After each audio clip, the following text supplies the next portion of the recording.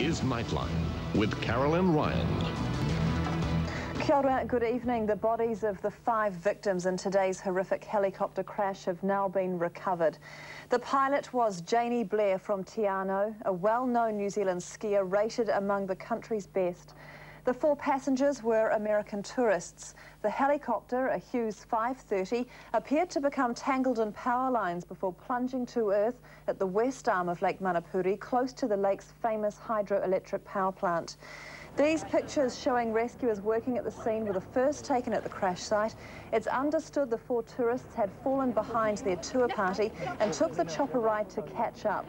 Their relatives in the United States are being contacted tonight. The bodies of the victims have been taken from Fiordland to Invercargill for a post-mortem examination tomorrow. Air accident inspectors will return to the crash scene in the morning. An empty hangar at the Te base of Fiordland helicopters. The Hughes, normally based here, now a wreck on a remote beach on Fiordland's Lake Manapouri. It crashed this morning near the West Arm power station, killing the pilot and four sightseers. It's understood the helicopter clipped and damaged one of the four transmission lines. The pilot was Janey Blair, a well-known Queenstown identity. What caused her to crash is still uncertain. Her helicopter came down 300 metres from a dock visitor centre full of tourists. It's a difficult uh, rescue.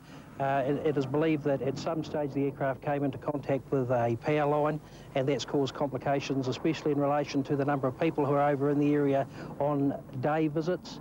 Uh, and we've just found out in the last quarter of an hour that they have uh, been safely removed from the area. Up until then, it was quite a serious hazard.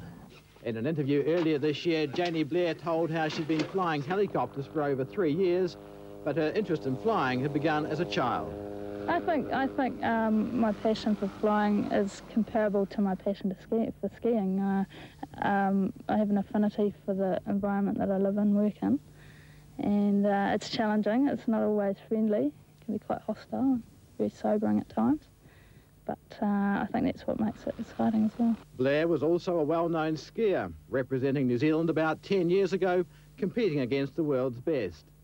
More recently, she overcame serious throat cancer. When she recovered, she learned to fly helicopters. Police haven't yet released the names of the tourists who died. Mark Price, 3 News. Yesterday's helicopter crash in Fiordland, though, are a long way off.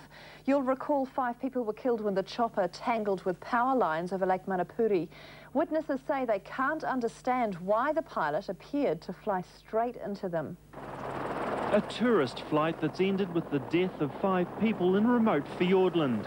The wreckage of a Hughes helicopter lying under the high voltage power cables it clipped as it came in for what looked to a local fisherman like a normal landing. I also thought at that time, shit, you're close to the wires.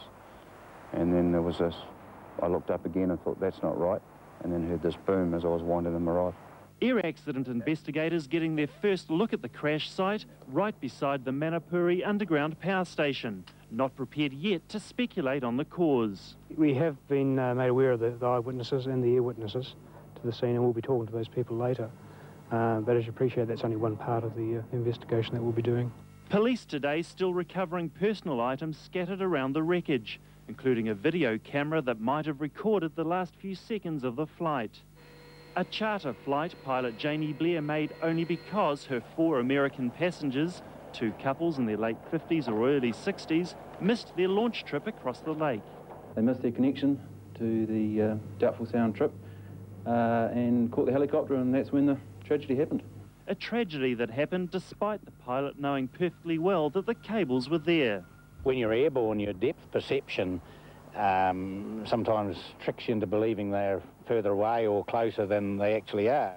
Helicopter operators believe the tragedy could have been averted if power companies put up brightly coloured markers on their overhead cables. Where someone creates a hazard, it's incumbent on them to, to uh, to uh, mark it. If I dug a ditch across that road out there, uh, the law requires me to mark it, not somebody who doesn't want to fall into it.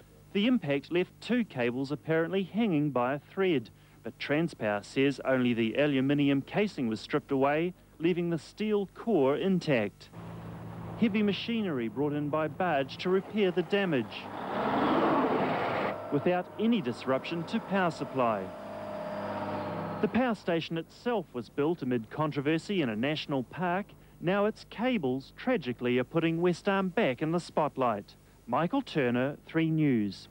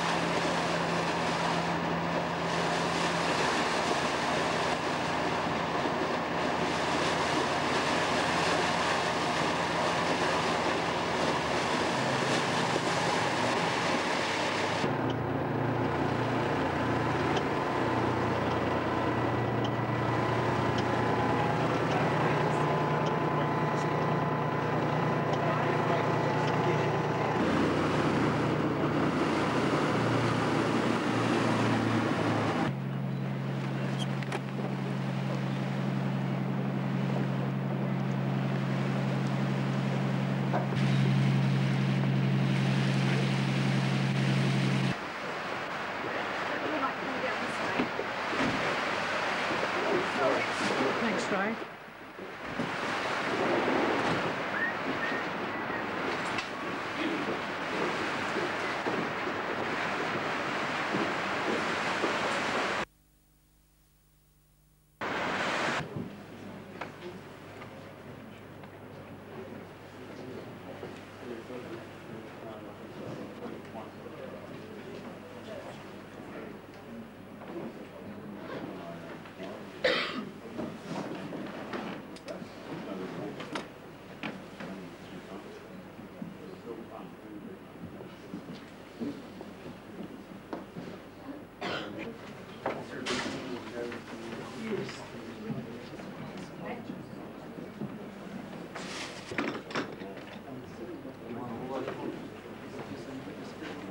Ladies and gentlemen, as you probably all know, we had hoped to be down on the lake's edge, but this is Fiordland and we're adaptable, so we're here.